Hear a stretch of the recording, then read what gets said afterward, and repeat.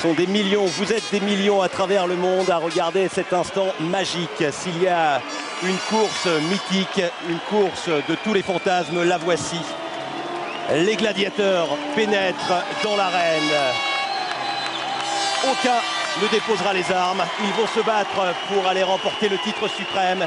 Et Alain Bernard, à ce jeu-là, à l'œil du tigre, l'œil du tueur. Walters voudra demander devenir le premier Américain à remporter le titre depuis 2001 pour euh, son pays. Il va y avoir la guerre finale du 100 mètres nage libre.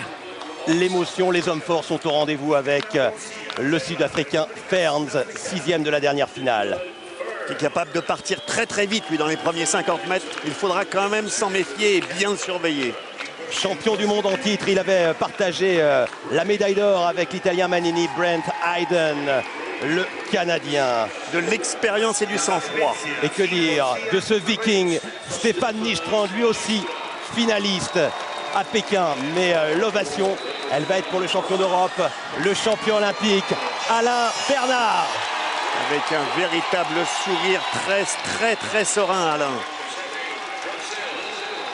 Le Brésil à l'honneur avec euh, César Cielo, le champion olympique du 100 mètres contre le champion olympique du 50 mètres.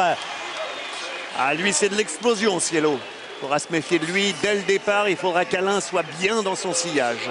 Deux Brésiliens avec également Oliveira qui euh, est présent. Et à ses côtés, le nageur d'Austin euh, au Texas, David Walters, qui a amélioré son record. Enfin, à la ligne d'eau numéro 8, le champion français du 50 mètres. D'eau numéro 8, record même du monde du 50 mètres, Frédéric Bousquet. Il avait pris la sixième place des championnats du monde en 2003. Et il semble avoir retrouvé un peu la pêche après le relais. Lui aussi est capable de partir très très vite et il sait qu'il est planqué. Les autres nageurs ne vont pas beaucoup le voir pendant la course. On a rarement vu Alain Bernard euh, avec ce visage-là et César Cielo côte à côte. Sans doute les deux hommes les plus rapides de la planète avec ici au premier plan Frédéric Bousquet. Il y a un instant magique qui va se jouer sous vos yeux.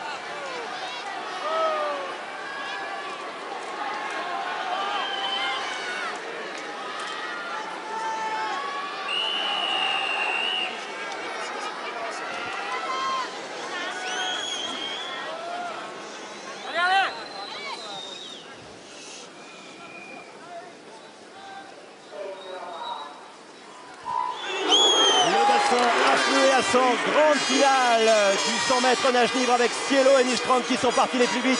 Et, leur bord français accélère. Et Bernard a bien pris la vague.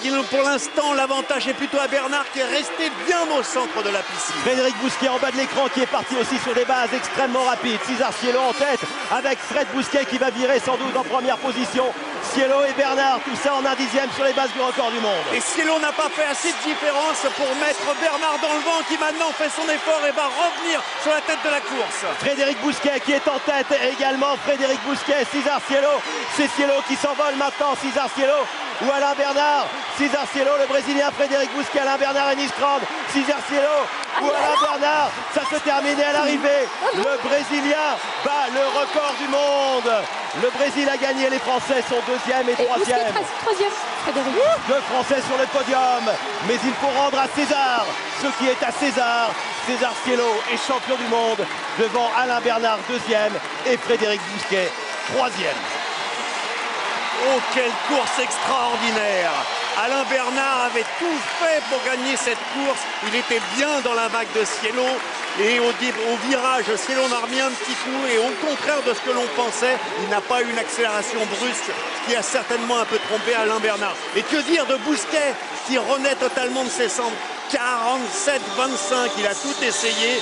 Je pense qu'il retrouve ici un grand espoir pour le 50 mètres nage libre. Et Frédéric Bousquet qui est couché sur le bord de la piscine.